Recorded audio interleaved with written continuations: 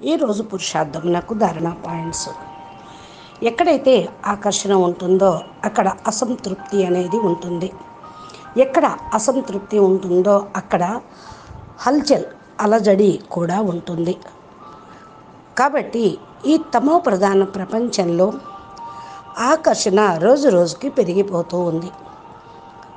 అలజడి కూడా అలాగే పెరిగిపోతూ ఉంది. దీనితో ఆత్మలందరూ చాలా దుఃఖీగా పరేషాన్గా అయిపోతూ ఉన్నారు. ఇవన్నీ కూడా అతిలోకి వెళ్తూ ఉన్నాయి. లౌకికం పరివారం అలౌకిక కానీ అన్ని స్థానాల్లో కూడా ఇప్పుడు పరేషాన్లే పెరుగుతూ ఉన్నాయి. ఇలాంటి సమయంలో బాప్ పిల్లలైన మీ అందరికీ కూడా అన్ని ప్రదేశాల నుండి అన్ని చోట్ల నుండి అతీతంగా చేస్తూ ఉన్నారు. మిమ్మల్ని అతీతంగా చేస్తూ ఉన్నారు. మీరు న్యార ప్యారాగా అవ్వండి. విశేషమైన పాలన కూడా బాపు మీకు ఇస్తూ ఉన్నారు. మీరు పిల్లలు తమ యొక్క స్వ ఉన్నతి వైపు పూర్తి విశేషమైన అటెన్షన్ పెట్టండి. ఒకవేళ మీరు ఏదైనా నేను మనస వాచ కర్మణ మరియు సంకల్పం ద్వారా ఈ పరిస్థితులన్నింటినీ కూడా దూరం చేసుకోవాలి అనుకుంటే ఇది సంభవం కాదు. ఎందుకంటే మీకు ఫస్టే చెప్పడం జరిగింది. మీరు ముందు సంపూర్ణంగా తయారు కావాలి. స్వయం సంపూర్ణం అయితే అన్ని విషయాల నుండి స్వయం మీరు న్యారా ప్యారాగా కాగలుగుతూ ఉంటారు. పవర్ఫుల్గా దీనికోసం కావాల్సి వస్తూ ఉంది. అప్పుడే మీ పవర్ఫుల్ స్థితి మీకు చుట్టుప్రక్కల హల్చల్ని కథం చేస్తుంది. అందుకని స్వయం అచల్ అడోలుగా కావాల్సి వస్తుంది. మీరు కేవలం బాపి యొక్క శ్రీమతం అనుసారంగా నడుస్తూ ఉండండి. మీకు సదా స్మృతి ఉండాలి. స్వయం నేను స్థితి నుండి అన్ని పరిస్థితుల్ని కథం చేసుకొని స్వస్థితిని పవర్ఫుల్గా తయారు చేసుకోండి. దీని యొక్క ప్రభావం దూర దూరం వరకు వెళ్తూ ఉంటుంది. ఈ సమయంలో మీరు స్వయం ప్రతి విషయం నుండి అతీతంగా అతి ప్రియంగా స్వస్థితిని తయారు చేసుకోండి. ఇదే మీ స్వాస్థితి.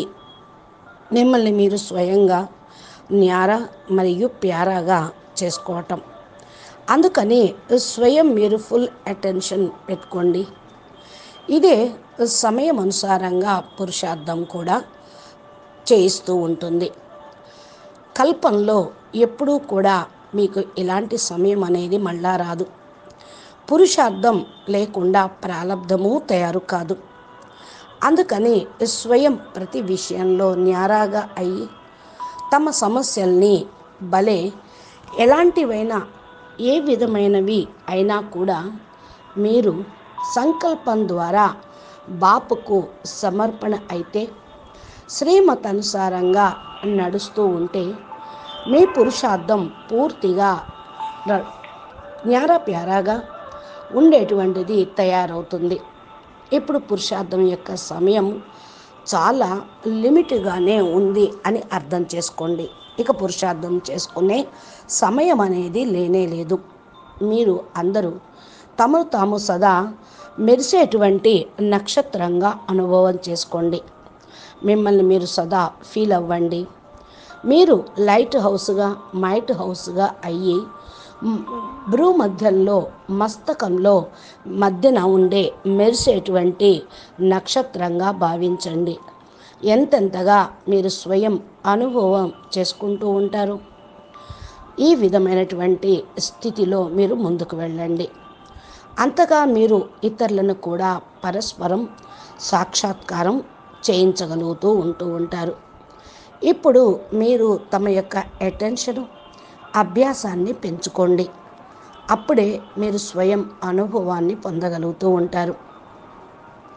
ఎప్పుడైతే మీరు తమ యొక్క ఈ శరీరంగా భావిస్తూ ఉంటారు లైట్ హౌస్ మైట్ హౌస్గా భావించటం అనేది ఉండదు. అప్పుడే మిమ్మల్ని మీరు ఖుషీగా శాంతి యొక్క అనుభూతిని పొందగలుగుతూ ఉంటారు. ఇప్పటి వరకు మిమ్మల్ని మీరు చూసుకుంటూ ఉండండి. మీరు ఒక్కొక్క సెకండ్ కూడా ప్లాన్ ఇస్తూ ఉండండి. బాపుకి మీ అంత కార్యక్రమంలో వస్తూ ఉండండి. ఏదైతే బాపు ఉన్నదో బాపు చెప్తూ ఉన్నారో ప్లాన్ ఆ ప్లాన్ అనుసారంగా మీరు చేస్తూ ఉండండి. మీరు ఈ విధంగా వస్తూ ఉన్నట్లయితే మీ మీ యొక్క తప్పు కానీ నష్టం కానీ ఏమీ జరగదు. ఒకవేళ ఉన్న పరమాత్మ బాపుతో పాటు మీరు ఉంటూ ఉంటే మీ తప్పులన్నీ సమసిపోతాయి. మరలా అన్ని విషయాలు బాపుకు అప్పచెప్పండి. దీనితో అతీతంగా అతి ప్రియంగా ఉండగలుగుతారు.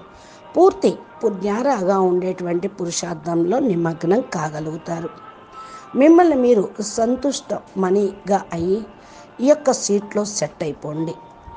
ఎందుకంటే బాప్ మీతో పాటు ఉన్నారు. అకళ్యాణంలో కూడా కళ్యాణం ఉన్నది. అంతా మారిపోయేదే ఉంది. అప్పుడు మీరు తమ సీట్లో సెట్ కండి. అచ్చా పరం శాంతి. నమస్తే. మీ సీట్లో సెట్ అయిపోగలగటానికి పురుషార్థం చేయండి నమస్తే పరం శాంతి. బేహద్ పరం. ఈరోజు పురుషార్థం నాకు ధారణ పాయింట్స్. ఎక్కడైతే ఆకర్షణ ఉంటుందో అక్కడ అసంతృప్తి అనేది ఉంటుంది. ఎక్కడ అసంతృప్తి ఉంటుందో అక్కడ హల్చల్ అలజడి కూడా ఉంటుంది. కాబట్టి ఈ తమో ప్రధాన ప్రపంచంలో ఆకర్షణ రోజు రోజుకి పెరిగిపోతూ ఉంది. అలజడి కూడా అలాగే పెరిగిపోతూ ఉంది. దీనితో ఆత్మలందరూ చాలా దుఃఖీగా పరేషాన్గా అయిపోతూ ఉన్నారు. ఇవన్నీ కూడా